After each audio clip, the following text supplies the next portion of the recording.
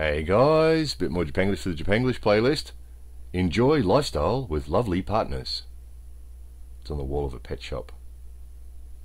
Okay. Lookin' girl. Lookin' girl. Beautiful crazy.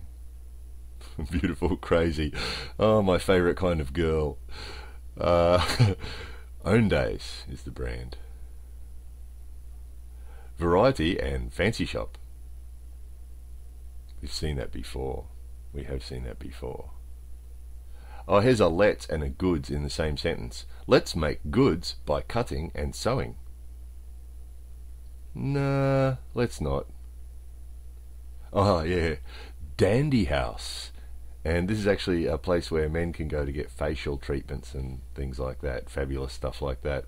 So in Japan, for a guy to be a dandy is actually uh, quite uh, acceptable, quite a good thing. CR2 Cutie, love and sweet. Uh, two loves and a sweet, please. Happy You Music.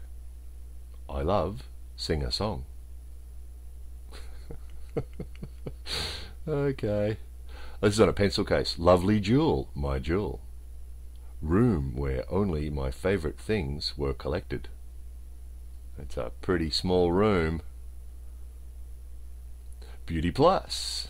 Okay, now pay attention for these two. This is second last, this one. Beauty Plus. It's a place where you take your cats and dogs to have them groomed and that sort of thing. That's fair enough, isn't it? Beauty Plus. Now, what's this one? Cleaning cats. Similar sort of company, do you think?